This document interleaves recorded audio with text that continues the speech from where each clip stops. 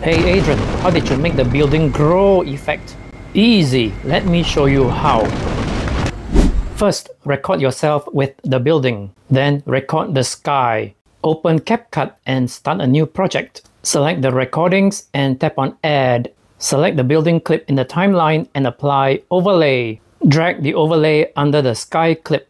Select the overlay and apply duplicate. Drag the duplicate under the original. Select the original building clip and apply remove BG. Choose custom removal and brush. Paint over the building you want to grow. Select the duplicate building clip.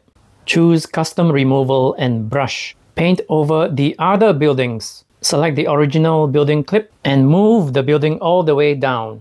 Scroll the timeline to where it starts to grow. Add a keyframe. Scroll the timeline forward a bit and move the building back. Comment yes if you want the full tutorial.